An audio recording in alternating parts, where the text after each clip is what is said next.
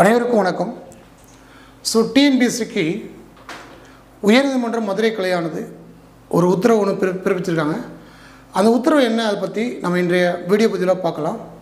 So TNPSC group one group two group DA இந்த மாதிரி degree லெவலில் நடக்கக்கூடிய எக்ஸாமில் டுவெண்ட்டி பர்சன்டேஜ் பிஎஸ்டிஎம் இடஒதுக்கீடு சொல்லுவாங்க. அந்த பிஎஸ்டிஎம் அந்த இடஒதுக்கீடு பற்றி தான் நம்ம இன்றைய பதிவில் பார்க்க போகிறோம் ஸோ என்ன sir twenty percentage PSTM quota அப்படின்னு கேட்டிங்கன்னா இதுக்கு முன்ன பார்த்தீங்கன்னா டென்த்து டுவெல்த்து வரைக்கும் ஆங்கில வழியில் படிப்பாங்க. டிகிரி மட்டும் தமிழ் மீடியத்தில் படிப்பாங்க. அப்படி படித்து அந்த மாதிரி எக்ஸாம் அப்ளை பண்ணி இந்த கோட்டாவை அவங்க என்ஜாய் பண்ணாங்க. பட் இதை என்ன பண்ணாங்கன்னா மதுரை உயர்நீதிமன்ற கிளை இதுக்கு ஒரு உத்தரவு பிறப்பிச்சிருக்காங்க. அந்த உத்தரவு என்ன அப்படின்னா ஒன்றாம் வகுப்பு முதல் பட்டப்படிப்பு வரை தமிழ் வழியில் ஃபுல்லாக படிச்சிருக்கணும். ஒன்று டு பத்து eleven twelfth even degree three years இதை ஃப்ரீக்வெண்ட்டாக தொடர்ச்சியாக என்ன பண்ணியிருக்கோம் அப்படின்னா தமிழ் வழியில் படிச்சிருக்கணும். அப்படி தமிழ் வழியில் படித்தா மட்டும்தான் அவங்களுக்கு இந்த டுவெண்ட்டி பர்சன்டேஜ் கோட்டா உண்டு அப்படின்னு சொல்லி ஒரு அருமையான உத்தரவை உயர்நீதிமன்ற மதுரை கிளையானது டிஎன்பிசிக்கு பிறப்பிச்சிருக்காங்க அந்த உத்தரவை பற்றி தான் நம்ம இன்றைய பதிவில் பார்க்க போகிறோம் ஸோ இது முன்ன பார்த்தீங்கன்னா நிறைய பேர் பார்த்திங்கன்னா வந்து என்னென்னா தமிழில் படிச்சுட்டு நிறைய வாய்ப்புகளை இழந்தாங்க. இப்படி அப்படிப்பட்ட மாணவர்களுக்கு இந்த உத்தரவானது ஒரு கோல்டன் ஆப்பர்ச்சுனிட்டியாக இருக்கும். நம்ம அதை பற்றி பார்க்கலாம். பாருங்கள் ஸோ தமிழ் வழியில் படிப்பு நீதிமன்றம் உத்தரவு. நீதிமன்றம் என்ன உத்தரவு? பாருங்கள் ஒன்று முதல் பட்டப்படிப்பு வரை தமிழ் வழியில் படித்தவர்களுக்கு டுவெண்ட்டி பர்சன்டேஜ் ஒதுக்கீட்டின்படி தேர்வு செய்து குரூப் ஒன்றில் நியமனம் செய்ய உத்தரவு.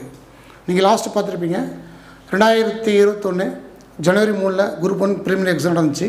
அந்த ப்ரீமியர்ஸ் எக்ஸாம் ரிசல்ட் ஆனது ரெண்டாயிரத்தி இருபத்தொன்று பிப்ரவரி ஒன்பதாம் தேதி அனௌன்ஸ்மெண்ட் ஆனுச்சு. அந்த அனௌன்ஸ்மெண்ட் இருக்குல்ல அந்த அனௌன்ஸ்மெண்ட்டுக்கே இந்த விதி பொருந்தும் அப்படி சொல்கிறாங்க விதிகளுக்கு கிடையாது. அந்த குரூப் ஒன் ப்ரிலிம்ஸ் ரிசல்ட் இருக்குல்ல அந்த ரிசல்ட்லேருந்தே இந்த டுவெண்ட்டி பர்சன்டேஜ் பிஎஸ்டிஎம் இடஒதுக்கீடை நீங்கள் ஏற்றுக்கோங்க அதை அமல்படுத்தணும்னு சொல்லி நீதிமன்றம் ஒரு ஆர்டரை பிறப்பிச்சிருக்காங்க. அது மட்டும் இல்லாமல் அடுத்து பாருங்கள் தமிழ் வழி படிப்பில் டுவெண்ட்டி பர்சன்டேஜ் ஒதுக்கீடு டிஎன்பிஎஸ்சிக்கு உயர்நீதிமன்றம் கிளை அதிரடி உத்தரவு. அடுத்த பேடி பாருங்கள் ரெண்டாயிரத்தி இருபது இருக்கா? இது இருபது இல்லை இருபத்தி ஒன்று ரெண்டாயிரத்தி இருபத்தி ஒன்று ரெண்டாயிரத்தி இருபத்தொன்று பிப்ரவரி ஒன்பதாம் தேதி டிஎன்பிஎஸ்சி வெளியிட்ட குரூப் ஒன் முதல்நிலை தேர்வு முடிவில் இருந்தும் விலக்கு தர முடியாது. சரிங்களா?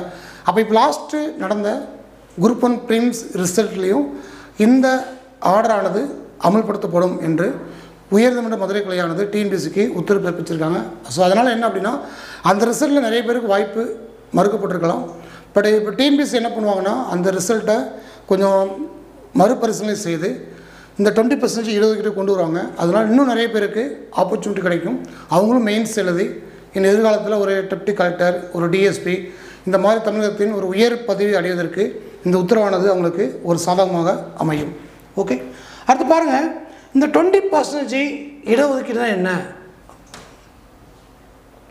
ஸோ டிஎன்பிஎஸ்சி பொறுத்தளவில் மொத்தம் பார்த்தீங்கன்னா ஹண்ட்ரட் பர்சன்டேஜ் அதில் ஜென்ரல் பார்த்தீங்கன்னா thirty one percentage general BC பொறுத்தளவில் twenty six point five percentage BC category BCM பொறுத்தளவில் three point five percentage BCM MBC பொறுத்தளவில் டுவெண்ட்டி பர்சன்டேஜ் இது எம்பிசி அடுத்து SC fifteen percentage SCA three percentage then ST one percentage இந்த மாதிரி அந்தந்த category வைஸாக இடஒதுக்கீடு கொடுத்துருக்காங்க.